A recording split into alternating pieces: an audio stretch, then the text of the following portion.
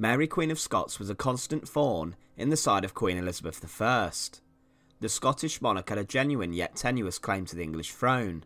However, her relationship with England's Queen would present as one of Elizabeth's greatest threats. By the end of the 1560s, she faced a range of threats from home and abroad. These threats would culminate in 1588 with Philip II of Spain sending the Spanish Armada to invade England. More on this later, however today's video focuses mostly on Mary Queen of Scots and why she was incredibly dangerous to Elizabeth. So dangerous that Elizabeth would order her execution. To support the channel, please remember to subscribe. As the great granddaughter of Henry VII, Mary would be the next in line to the English throne following the death of Elizabeth I, the last of Henry VIII's children. Elizabeth, when ruling England, had a number of problems to deal with. However, one key problem was religion. Ever since Henry VIII's Reformation and the creation of the Church of England, England had been switched between Protestantism and Catholicism.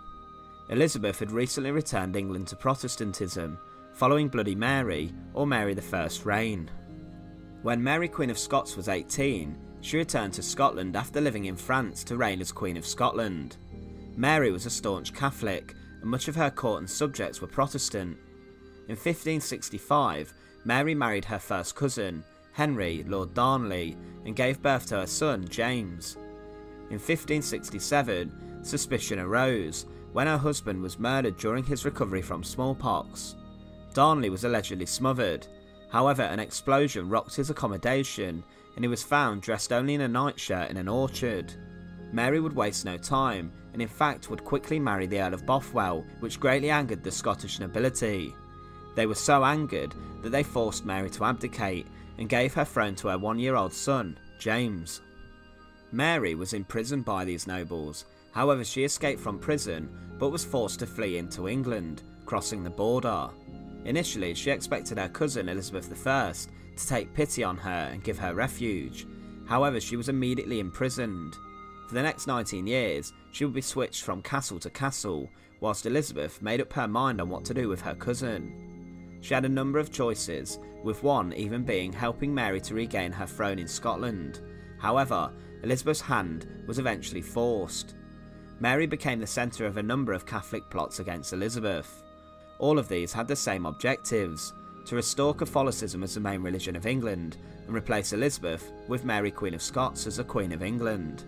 The final plot that acted as a nail in the coffin for Mary was the Babington plot, in which she was caught sending coded messages in beer barrels agreeing to this devious plot. It's fair to say, Mary after 19 years in prison was desperate, she had lost completely everything. Finally in 1587, Elizabeth was persuaded to end the threat to her throne once and for all, and ordered the execution of Mary Queen of Scots. A delegation of Elizabeth's representatives arrived at Fotheringhay Castle on February 7, 1587. Here they informed Mary of her fate, saying that her execution would be carried out the next day between 7 and 8 o'clock. Mary would allegedly thank them for the good news, saying she'd been prepared for death for the last 19 years after her imprisonment. She begged the envoys to give her some time to make her will and sort out her affairs. This request was denied, with the Count of Shrewsbury saying, No, madame, you must die. Be ready between 7 and 8 in the morning. It cannot be delayed a moment. Mary then spent the rest of her evening writing letters to her family and friends saying goodbye, and also spent time praying. On the day of her execution, it is said that at Fotheringhay Castle, the scaffold had been erected in the middle of a large room, possibly the Great Hall. It measured 12 feet along each side and 2 feet in height, and was covered by a coarse cloth of linen. The execution would take place in Fotheringhay's Great Hall, which today isn't standing. Mary entered the room with grace and majesty.